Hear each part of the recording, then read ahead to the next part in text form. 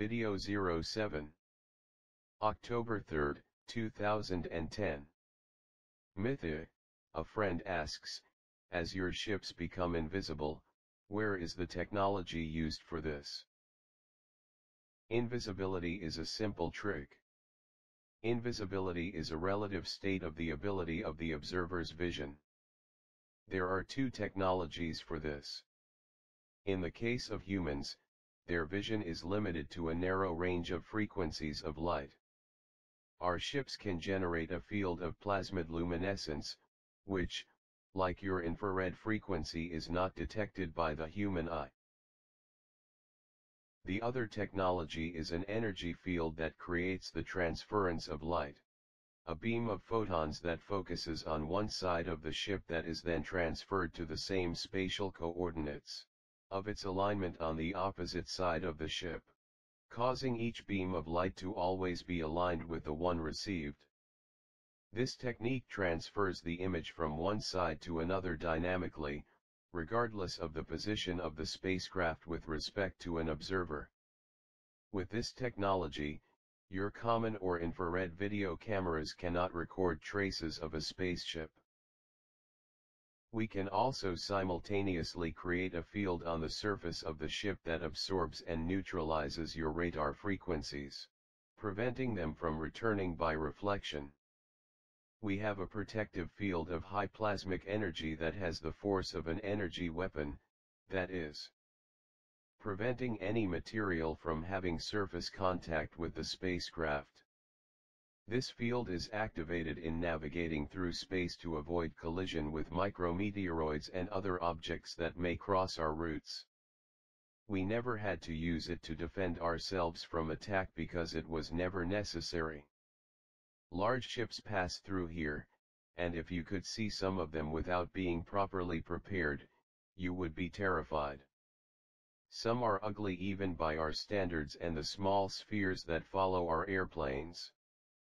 They have also been seen flying over various regions. These spheres are remote probes, controlled by any spacecraft that is in the region. They are very fast and have a wide variety of tools for analysis and recording. They can get in small places and maneuver accurately. They never knock into anything due to having a navigation system that accurately controls their proximity to objects. They pose no danger to you, unless there is an accident caused by some event beyond the control of the operators or interference of attempted capture by humans. There are also many of these probes in research under the ocean every day. They are programmed to self-degenerate if they lose contact with the command for a predetermined period of time and are considered lost. If one is caught, it becomes a lot of metallic powder in a short time. Why not use this technology for self-degradation in spacecraft as well? This will avoid falling into the hands of Earthlings. Spacecraft are far more complex units. They have systems that make it impossible to self-destruct, because of anti-carbon units and are manned by humanoids. They are not planned to fail, when they have problems, they are retrieved, and when they fall into the hands of earthlings, they are impossible to be analyzed. So, no problem. The probes are aplenty, more fragile, and unmanned. Because they are not managed by brain signals like spaceships. They contain a navigation system controlled from a distance that could be parsed and partially understood by Earthlings. They can self-destruct without any major problems or major costs. What kind of weapons do you have? We do have weapons, but do not use atomic energy. The atomic energy is a force that causes many bad side effects. A primitive way of getting dirty energy. It is harmful to all living things, plants, and animals, including humanoids for sure. Very soon you will be compelled to replace the dirty energy with clean energy. Our arms are summarized in bundles of concentrated energy that are not used as weapons in and of themselves. We use them most often to destroy asteroids and other celestial bodies that might be causing any problems. Of course, if there is a need to use one as a weapon against some strange race or circumstance, it will be used as a last resort. You are being monitored very many years with respect to your atomic weapons. We have ways to counter catastrophic effects, but there would be a loss of many species living on the planet. Causing an imbalance for many generations. All of your atomic installations are under constant surveillance. In the case of nuclear plants, they are currently used for energy production.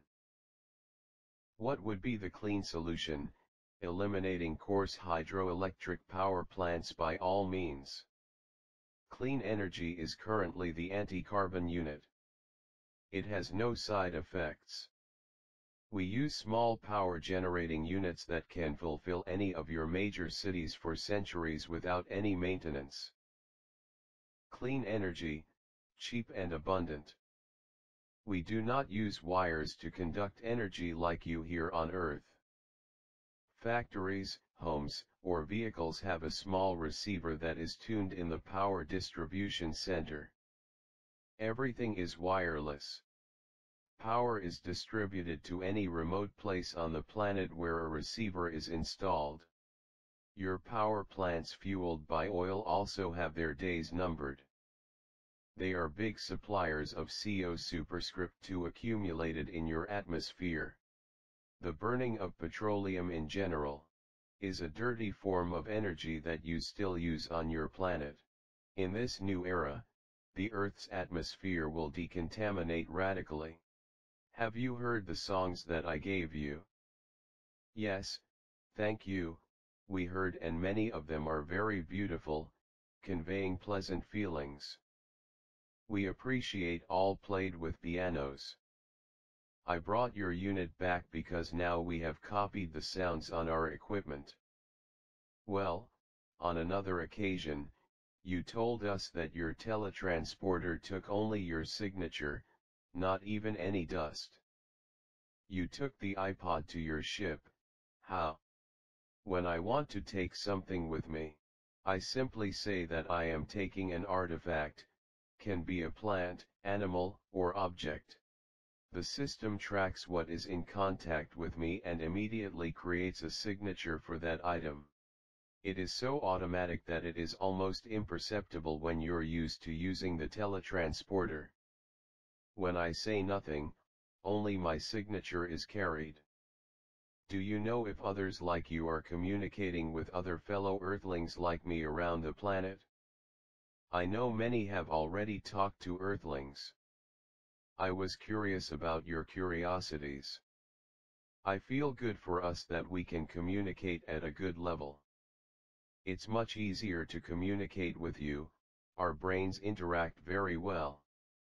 At this end of the current era, it is already possible for good communication.